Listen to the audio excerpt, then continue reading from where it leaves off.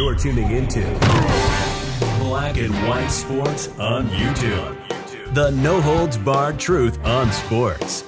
The main event starts now.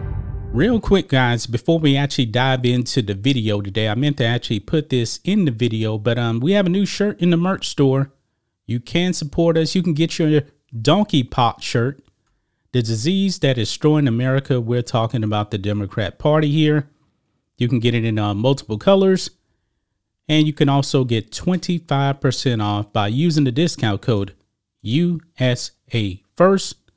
I actually like this uh, army green color right here. You can actually get a better look at it right there. 25% off, guys, if you use the discount code USA First. I got to tell you guys, it still just baffles my mind that there is any type of talk of actually trading a known terrorists like Viktor Bout, the merchant of death, for a WNBA player that um, hates his country. It still baffles my mind if this deal actually does go through, folks, I said it before, it just shows you how weak we've actually become as a nation.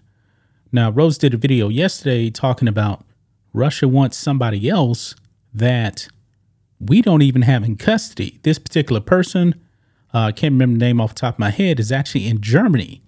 And that the U.S. actually reached out to Germany to see if they would actually be willing to let this person go, a convicted murderer in addition to Viktor Bout. This is insane. This doesn't make any sense whatsoever. Now, one thing I have been wondering ever since we actually heard about this alleged deal, alleged offer, I should say, because uh, Russia said there is no deal. I've been wondering what has President Trump actually been thinking about this. Now, it's probably pretty obvious that he is not on board with trading uh, Viktor Bout for Brittney Griner at all. Well, he was actually on with uh, Clay Travis and Buck Sexton, and he weighed in yesterday. So let's go over here to Outkick. Trump on potential Griner prisoner swap for arms dealer doesn't seem like a very good trade. Yeah. Now, if this was actually a sports trade, since this is a sports channel, this would actually probably go down as one of the worst trades in sports history. But uh, let's listen to a portion of the clip here from the uh, Buck and um, Clay Buck show, and they were actually interviewing uh, President Trump on uh, multiple things. But um, Buck actually asked um, President Trump about Brit- Brittney Griner. So let's go ahead and play this part. Would you have made, by the way, the offer for Brittney Griner and Viktor Bout that Russia has put forward, where they'll trade this arms dealer's 25 years for arms dealing all over the world for the WNBA player and also uh, believe a former Marine was being held there. She went in there loaded up with drugs into a hostile territory where they're very vigilant about drugs. They don't like drugs. And she got caught.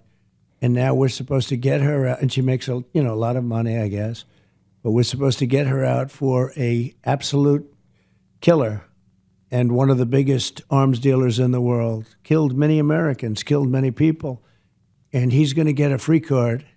And we're going to get her. She knew you don't go in there loaded up with drugs. And she admitted it. I assume she admitted it without too much force because it is what it is. And it certainly doesn't seem like a very good trade, does it? He's an absolute one of the worst in the world, and he's going to be given his freedom because a potentially spoiled person goes into Russia loaded up with drugs. And what do you think of Zelensky doing? Yeah, so there you have it. That is President Trump weighing in right there. Uh, he called Brittney Griner spoiled. Yeah, obviously she is. Now she is. She had to know the rules over there in Russia. She's been playing there for seven years. She had to know that.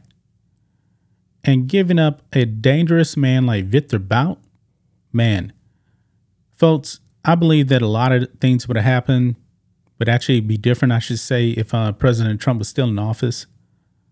I don't think that Brittney Griner would actually be locked up right now in Russia.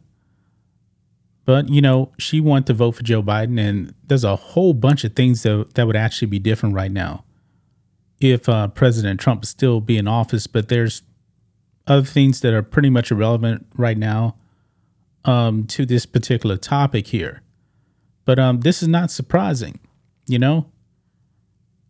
President Trump called uh, Brittney Griner spoiled. He said it's um, it's a bad trade, and it is. It's a complete bad trade. But you know what? I believe that Russia has so little respect for uh, Joe Biden that they're probably just gonna continue to ask for more and more and more. Because I was actually pretty shocked when Rose actually told me that, um, hey, I got another video coming on uh, Brittney Griner. Uh, the Russians actually want more. I'm like, what? Really? So did um the U.S. just kind of lay everything out and say, hey, right from the beginning, hey, you guys want Viktor Bout? We're gonna give him to you right from the beginning. Did they did they just play all of their cards right there? And now Russia's like, you know what? You guys offer that? We want a little bit more. We want something, you know, to kind of um wet our beak. Remember uh Godfather 2, Don Fanucci? Uh great movie, by the way, one of the all-time greats. Don Fanucci said, just a little something to wet my beak. That's probably what uh Russia's probably was saying to uh to the Biden administration, man. I have no confidence whatsoever in um in Joe Biden and his administration. Word is that still it'll probably take uh, months before the whole thing actually gets resolved on a prisoner swap. But folks, if the merchant of death and a murderer is actually involved in um, a prisoner swap for a WNBA player, this is going to be a very, very bad look for this country. A very bad look. Man, that's just my thoughts on this. What do you guys think of this? Black and white sports fans, let us know what you think about all this in the comments. Make sure to subscribe to Black and White Sports, and we'll catch you next time.